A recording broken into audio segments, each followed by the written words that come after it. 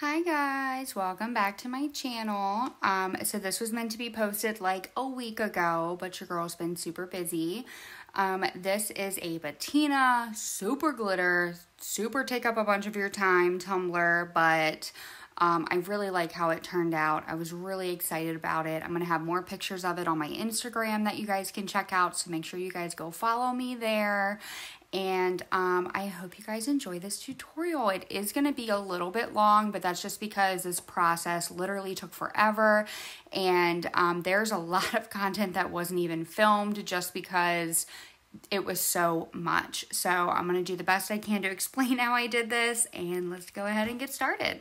So I started off with a prepped and sanded 30 ounce tumbler from Griffin Blanks. There will be a list of products down below and even some discount codes. Um, I'm using probably about three milliliters of CC DIY Fast Set. And then the glitter I'm using is OBX by Peachy Olive Glitter. It was one of the glitters in one of their Peachy palettes recently. And when I opened it, to me, it had the perfect combination of Matisse and Little Mermaid. And I knew I had to do something to combine all three of these glitters. So I completely base coated my cup with this glitter, making sure that there was full coverage on the entire cup by spreading it around. Um, I haven't put these in shakers yet. As you can see, it's still in the bag. But um, just make sure it's fully covered. And then um, look at that sparkle. I literally was, this is probably one of my favorite glitters from Peachy. I was obsessed with how well those two colors went together and how I was able to use the other two colors. Amazing. Anywho, so we went ahead and added a, another coat of epoxy once the bottom coat was dry. You could have also done a flood coat, but I did it right before I went to bed. So I didn't do the next coat until the next day. Um, so for the second coat, I think I did probably about 30 to 40 milliliters of CC DIY's Fast Set Epoxy, spread it around evenly. I did a thick coat because I wanted it to be thick. Next, I went ahead and started with the wrap of roses. I will link the SVG um, down below. When you go into Design Space or Silhouette Studio, you're going to want to make sure that you measure your tumbler around and the height after you've applied your epoxy and before you apply the decal so that it is as accurate as possible. Um, so that's what I did. I went ahead and cut it down as best as I could so that I could wrap my tumbler with it. And um, this was a, uh, not continuous, I forgot the name of it. I forgot. It's, it's been a long day. Um, um, basically it continues. So it, there's supposed to be no seams. Um, when I started this, I really had no idea what I was going to do. I just knew I wanted to use Matisse and Little Mermaid and I wanted to do roses. And this was all guesswork from here on out. So you guys have seen me wrap tumblers before with templates. There's ton of YouTube videos and creators who do it much better than me. Uh, Myra makes it.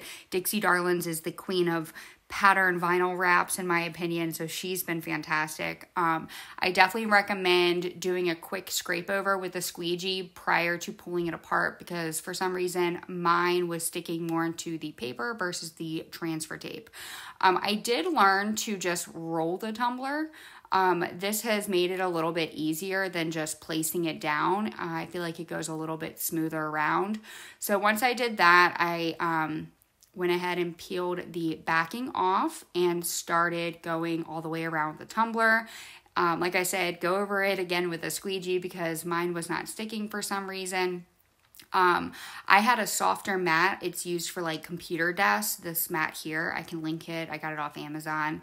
Um, I felt like it was more even than the table because I have like epoxy and glitter on it. This made it like a smoother process to just roll the tumbler onto the vinyl. Um, went ahead and pulled off that backing. Now, what I did when I did this tumbler was make it very hard on myself. Um, so basically, the way that this template is set up, um, it's either you have an outline of roses like here, or you or or you take out the inside of the roses. Okay? I did both. I had some that I did the outline and I had some where I took out the inside. Now, when you're if you do decide to do it that way, I recommend taking a fresh blade, X-Acto knife, and cutting around the seam so it doesn't rip up all of the outline around the entire tumbler. So if you're doing both. Now, if you just want to do the outline, you don't have to do this step. This is me literally looking and searching and everything else. Um, see here, I tried to go with the motion of, or I guess the curve of the rows that I was pulling up so that it's separated from the other line. So this is me going through for this one rose and pulling it up. Now, when I tell you I didn't even film all of this, and the film was still about three and a half to four hours in length in total before editing it down and speeding it up, I am not kidding you. And this is from not only pulling up this vinyl, but also doing the glitter portion, which you'll see me do next.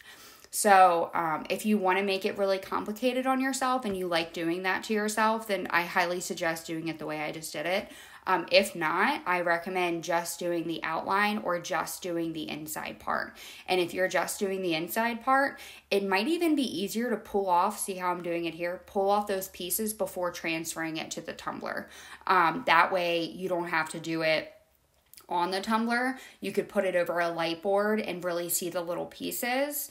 Um, um, this was difficult um like i and honestly originally when i started doing this i was to do this to the entire tumbler um i was crazy.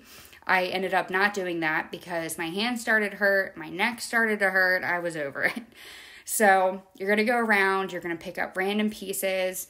I tried my best to do like every other. So like one be just the outline one be just the inside one be just the outline did the best I could. But then in reality, I thought also, I'm going to be using two different color glitters for this, and I didn't assign one to like the outline and one to the inside. I literally did like, I'm going to put Matisse in this one, and I'm going to put Little Mermaid in this one, and kind of just try to put it, do it, I try to do the best I could. Um, so this is going to be me um, consistently pulling this up. I'm going to speed it up a little more. I know it's already super fast um, so that we can go ahead and move on to the glitter portion. I do recommend your tumbler being fully cured before applying this vinyl on top of it though, or else it's going to like pull up your epoxy or be really hard to pull up or leave a sticky residue. I also recommend using like Oracal 631, which is a removable type of vinyl. Um, this helps you not have sticky residue left behind um, which is great when you're doing peekaboos and stuff. Because even though I'm going to be covering these portions with glitter, there are going to be other portions where there was vinyl and I'm pulling it up and you don't want sticky residue there. It's annoying. So definitely recommend um, like Oracal 631. I have a huge roll of like the matte white and the matte black because those are what I use most often for um, peekaboos or temporary vinyl. You could also even do um, like a tan or brown. I try if I didn't have like the white or the black and like a huge roll, like literally like a 20 foot roll of vinyl. Um, I probably would do like one of my lesser used colors, which is brown, tan, um, like green, like random colors I don't usually use. Um, but anywho, um, I'm gonna stop talking for a little bit and let you guys watch me uh, Oh, wait, no, okay, yeah, we're on the glitter part. Um, I edited this video before doing the voiceover like a week ago, so um, I am using Mod Podge and I'm mixing it with a metallic acrylic paint, um, Deco Art. You can get it off Amazon. You don't have to mix it. I think you should mix it. Um, I tried doing it without mixing it, didn't look good. Didn't film it because this video was already gonna be, well, I did film it, but didn't, it didn't make the cut for this video because this video is already long enough.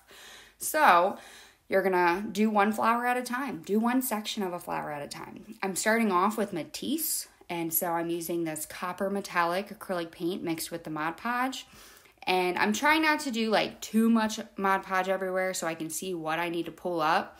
Um, but uh, once you do some Mod Podge, you go ahead and pour some glitter on and then Mod Podge glitter, Mod Podge glitter, you know. Um, if you feel like it needs another layer, go ahead. Um, some portions of the flower of the rose did need, see how I'm going back, did need some more glitter, so I went ahead and did another layer. Um, some portions did not, so I didn't do another layer. Once you do that, go ahead and pull up those uh, pieces of vinyl.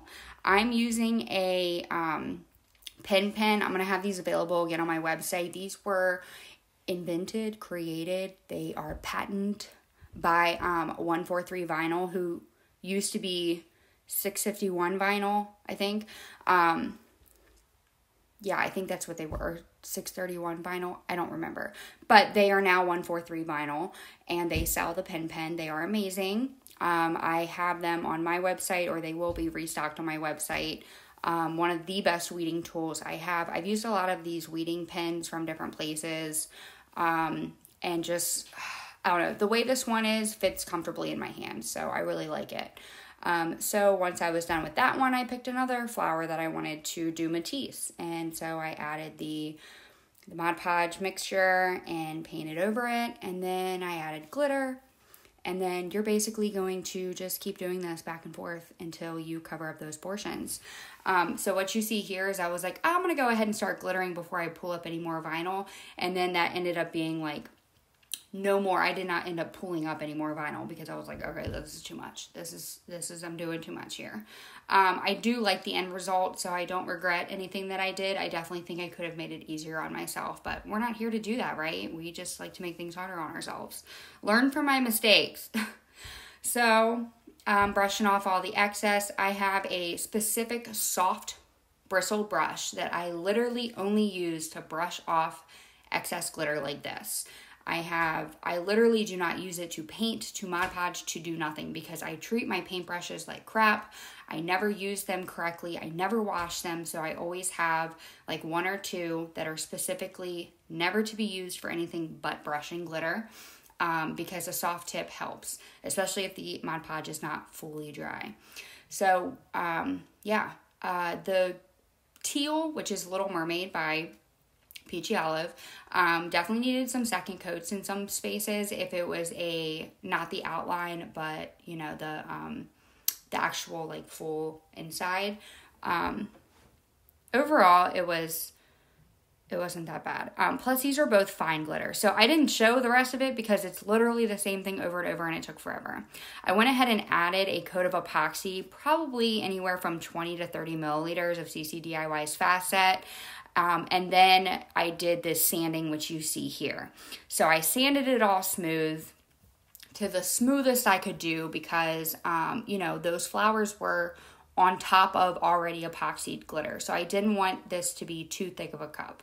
Um, once I sanded it and took some 91% alcohol and cleaned the cup, I went ahead and added another coat of epoxy.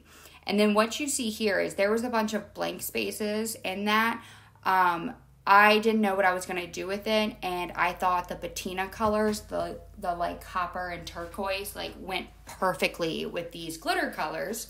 So I went ahead and base coated it with a like copper metallic spray paint in just little bursts, and then also did white on top of it once the copper dried.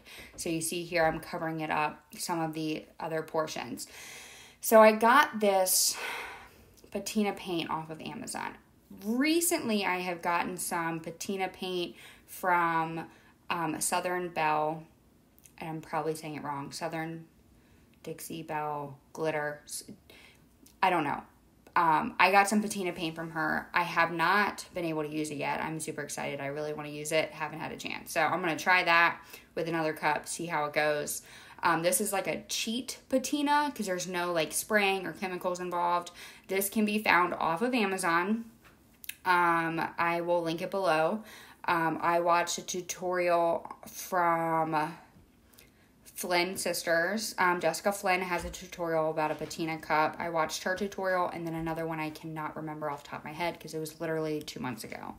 Um, then once I so you do the teal first and then you do the copper after the teal dries. I recommend waiting for the teal to dry before you do the copper um, and vice versa. So as you can see here, the teal is dry, kind of. Um, and then I'm taking some goof off and 91% alcohol to um, distress what is already on there. Um, I and plus clean up all the extra spray paint that went over the glitter roses that I spent so much time on and I don't want to cover up all the way, you know. So here is the um the like copper and you're using like a chip brush, a rough brush. These are brushes that I use for like wood grain um, to brush off like the heavy excess glitter on cups, things like that. And and having a piece of paper there helps because you just kind of like tap it and make sure you don't have too much because it has pretty good coverage on it. And I just wanted like a little bit. So I'm literally, I know this is sped up and I'm really sorry. Um, it's you're literally just lightly painting it on. Um, is all it is. It's and I'm going back and forth between the teal and the copper. Um, I like I said before, I recommend the teal being dry before adding the copper because then it just turns into a little mush pile. Um, Uh, it just mixes too much together. But I'm just going back and forth. I'm just giving it a distressed look, a little something extra that probably wasn't needed, but I really like how it turned out. Um, so after I did this and after everything 100% dried, um, I went ahead and added uh, 20 milliliters of CCDIY Fast Set Epoxy. Um, and then I went ahead and sanded. I wanted to sand everything smooth um, because the paint is kind of um, chunky. I don't want to say chunky. Um, abrasive. I don't want to say that either.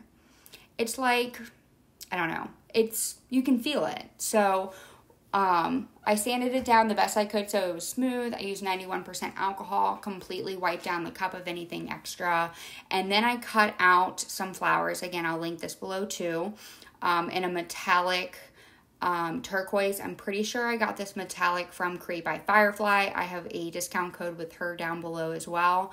And then I originally had this like really cool um, brassy color that was going to go really well with it, but for some reason my Cricut would not cut it correctly on this um, SVG that I created, which again I'll have linked down below. And um, so, because of that, I used this. I'm pretty sure it's Cricut brand, which I'm not a fan of Cricut brand vinyl, but this turned out well. It went with the cup. I just, I went with it. You know, we do what we can. And I just kind of placed it around, um, placed it around. I did the roses and the turquoise. The roses would not cut in the other color for some reason, just was not cooperating. So I just kept it turquoise. I liked the turquoise color. Um, I think it turned out well. Um, once I did this, because these lines are so thin and metallic can have a tendency of popping up, I went ahead and took some Quick Coat from CC DIY and did a layer on my um, on my tumbler before I epoxied it. Now you want to make sure that the Quick Coat is completely dry prior to putting epoxy on. Um, so I did a layer of, I actually did two layers. It dried I did one layer, it dried, did a second layer of the quick coat, it dried, and then I went ahead and did um, a final coat of about 25 milliliters of epoxy um, from CC DIY. So this is the final result. I did some really big close-ups because I really like the details and the layers in this cup. Layers have been my new favorite thing. Um, so that's what I've been doing a lot of lately, but I really like how it turned out. I mean, while it did take a lot of work, it was a lot of fun. So thanks for watching. Um, I hope you enjoyed. Check out the uh, more pictures on my Instagram. And uh, yeah, I'll see you guys next time.